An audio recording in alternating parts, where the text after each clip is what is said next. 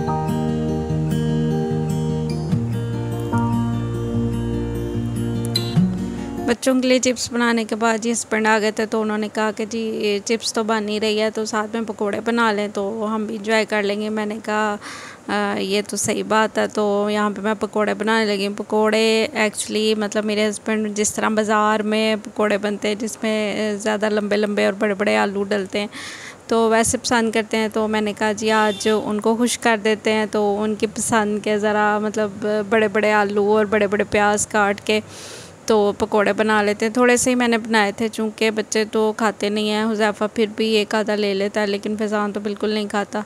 तो इस वजह से मैं थोड़े से ही बना रही हूँ, जितना कि मतलब मैं और मेरे हस्बैंड हम खा सके। खाना चूँकि आज दोपहर को नहीं बना था, हमने ये ही खाए थे पकोड़े और चिप्स। चिप्स भी जो बनाई थी बच्चों ने, सारी तो नहीं खाई, वो भी हमने सबने मिल के ही इंजॉय की और उसके बाद ये पकोड़े भी मैं साथ साथ बनाती जा रही थी। और साथ साथ मतलब खाते जा रहे थे, बच्चे भी चिप्स अभी बन भी रही थी और जो बन गई थी वो मैंने उनको दे दी। मैंने कहा, जी, ये आप तो खाएँ ना। और बाकी फिर साथ साथ बन रही है तो साथ साथ देती जाती हूँ। तो जी, पकोड़े बाज़ारी स्टाइल के मैं बना के तैयार कर जिसमें ज़रा बेसन कम होता है और आलू प्याज ज़रा बड़े बड़े डले होते हैं। तो इस तरह मेरे हस्बैंड को मतलब इस तरह के खाना पसंद है तो वैसे काफ़ी टेस्टी बनते हैं। मतलब ये कि अगर आप नई नई ट्राई किए तो ज़रूर ट्राई करना, बड़े मज़े के बनते हैं। हाँ वो पकोड़े भी मज़े के बनते हैं जो हम घरों में बना के तैयार करते हैं, लेकिन इसका भी एक अपना डिफरेंट टेस्ट होता है तो बड़े मज़े के बनते हैं। तो मतलब मैंने कहा, जी, चलो, आज डिफरेंट कुछ होना चाहिए।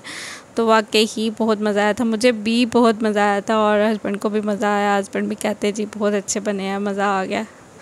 तो हमने पकोड़े इंजॉय किए और चिप्स इंजॉय की। और आज हमने अपना जो प्यारा सा मौसम है, बारिश का, वो इस तरह से इंजॉय किया। आप मुझे बताइएगा, आप, बारिश का मौसम कैसे इंजॉय करते हैं? यानी कि आपके घर में बारिश के कोई पकवान वगैरह बना के बनते हैं या नहीं? मतलब नॉर्मल खाना ही बनता है।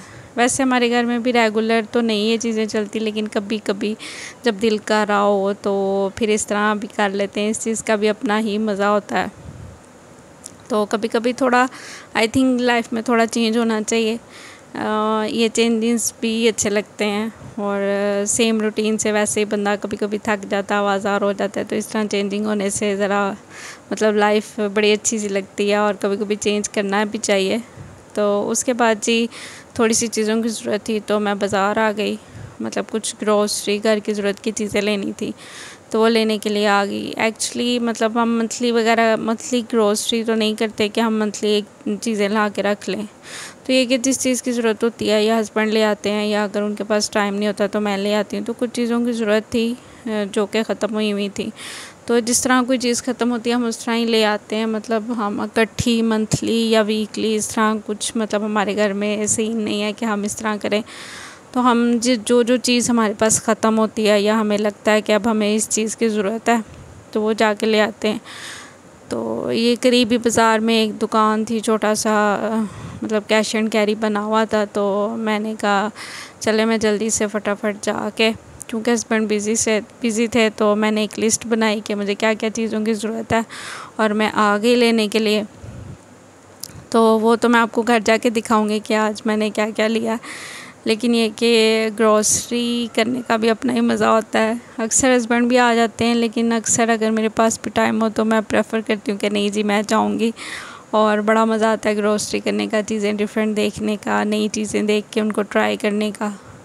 तो ये भी एक अलग सा एक्सपीरियंस है। अब अगर घर तरी है, एक, मैं हाउस वाइफ हूँ तो ये सारे एक्सपीरियंस तो चलते ही रहते हैं।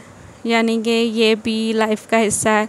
चीज़ें ख़त्म हो जाना उनको लाना उनको अरेंज करना तो इस तरह की चीज़ें भी ज़िंदगी में चलती रहती हैं। तो जी आज फिर मैं आई थी ग्रॉसरी करने के लिए तो जो जो चीज़ की मुझे ज़रूरत होगी वो मैं ले लूँगी और फिर मैं घर चलती हूँ। घर जाके फिर मैं आपको दिखाऊँगी कि आज मैंने क्या क्या लिया या मतलब मैं क्या क्या लेने बाज़ार आई थी। एक्चुअली बाज़ार में वीडियो बनाना थोड़ा सा मुश्किल हो जाता है क्योंकि मतलब आ, शायद छोटा सिटी है तो सारे इस तरह मतलब देखते हैं कि ये क्या मतलब ये वीडियो बना रही है, क्यों बना रही है। तो लेकिन फिर भी मैं कोशिश करती हूँ कि मैं आप लोगों के लिए वीडियो बनाऊँ और आप लोगों को भी पता हो कि मैं कहाँ गई थी और मैंने क्या क्या शॉपिंग की। तो इसलिए यहाँ पे ग्रॉसरी की तो उसकी तो मैंने वीडियो बना ली थी, लेकिन बाद में मैं बाज़ार में मुझे और भी काम थे तो उसकी मैं वीडियो नहीं बना सकी। एक्चुअली मतलब अकेली आती हूँ तो ज़रा स्पीड स्पीड से जाती हूँ स्पीड से सारे काम करती हूँ। इस वजह से हर जगह वीडियो बनाना पॉसिबल नहीं होता। इसलिए जहाँ पे पॉसिबल लगता है, वहाँ पे मैं वीडियो बना लेती हूँ और जहाँ पे नहीं लगता, वहाँ पे वीडियो नहीं बनाती। तो इस वजह से यहाँ पे तो थोड़ी सी मैंने वीडियो बना ली, लेकिन बाकी आगे जहाँ मैं गई, वहाँ पे मैंने वीडियो नहीं बना सकी या मैं, मेरे माइंड में नहीं रहा या मैं नहीं बना सकी। तो बाकी मैं आपको घर जाके दिखाती हूँ कि आज मैंने क्या क्या शॉपिंग की ग्रॉसरी में क्या क्या ख़रीदा और क्या क्या चीज़ें ली। तो चलिए जी, पहले शॉपिंग कर लेते हैं, फिर मैं आपको घर जा जाके बताऊँगी।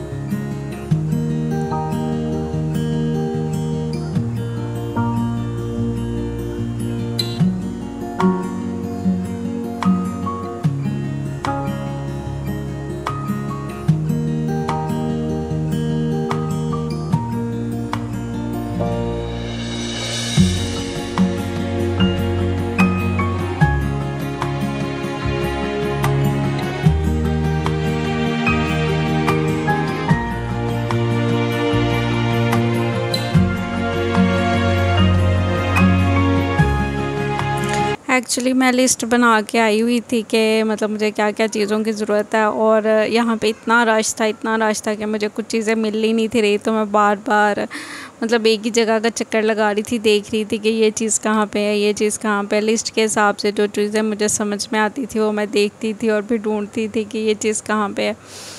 तो वो चीज़ फिर मैं लेती थी, इसलिए मुझे ज़रा ज़्यादा टाइम लग गया। वैसे शॉपिंग मैंने इतनी कोई ख़ास या इतनी बड़ी नहीं करनी थी। कि मुझे इतना टाइम लगे लेकिन बस वही बात है लिस्ट के हिसाब से मुझे थोड़ा सा टाइम लग गया। उसके बाद जी मैं आगे चली गई हुजैफ़ा के शूज़ टूट गए थे वो मैंने लिए। उसके बाद आ, कुछ मंचिंग की चीज़ें जो मतलब मैं लेती हूँ बच्चों के लिए भी अपने लिए भी। मैं ख़ुद भी मंचिंग करने का मुझे बड़ा शौक़ है तो मैं अपनी चीज़ें भी लेके आती हूँ। ये बच्चों के वायलेट्स थे जो ख़त्म जोमेट्रियाँ एक दो दफ़ा मैंने ला के दी हैं लेकिन बच्चे चूँकि तोड़ देते हैं। तो इस दफ़ा मैंने सोचा कि उनको वायलेट ला के देती हूँ, ताकि शायद ये इनके चल जाए। तो वायलेट मैं लेके आई थी, तीन वायलेट मैंने लिए डिफरेंट कलर के। और यहाँ पे मैं आपको अपनी ग्रॉसरी दिखाती हूँ कि मैं क्या लेके आई थी। तो ये जी स्कॉच ब्राइट लेके आई थी, ये तो मेन ज़रूरी चीज़ है बर्तन धोने के लिए। रस लेके आई थी, डान के रस। ये बड़े मज़े के होते हैं। मतलब हुजाफ़ा बड़े शौक़ से खा लेता है। अगर उसने उस पर स्कूल जाना हो, स्कूल जाने से पहले और मैं भी ले लेती हूँ। उनका टेस्ट काफ़ी मुझे अच्छा लगता है।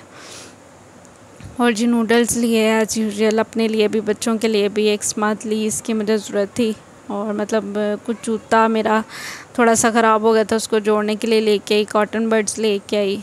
यानी कि ये भी काफ़ी देर से ख़त्म हुए हुए थे।